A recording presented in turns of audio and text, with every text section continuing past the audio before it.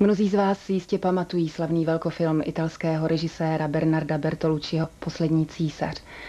Čínský film Poslední císařovna zachycuje rovněž období vlády a úpadku posledního vladaře čínské císařské dynastie. Zaměřuje se však pouze na období let 1922 až 1942. Hlavní pozornost je věnována osudům tří žen císařského dvora, které v té době měly k císaři nejblíž a které nesly tíhu rozpadající se říše spolu s ním.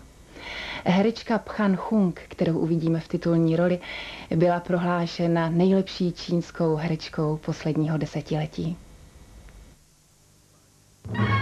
Ústřední půjčovna filmu Praha uvádí čínský film Poslední císařovna.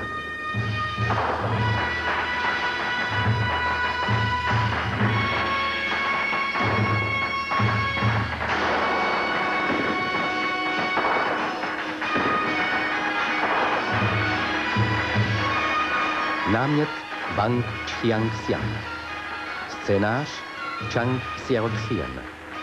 Režie Chen Tialin, Sun Ching Kuo. Kamera Anche Kuo. Výprava Tin Sibu, Luch Chi.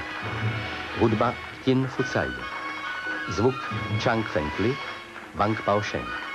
Střih Wang Duzhu. Nahrál orchestr filmového studia Chan Chun.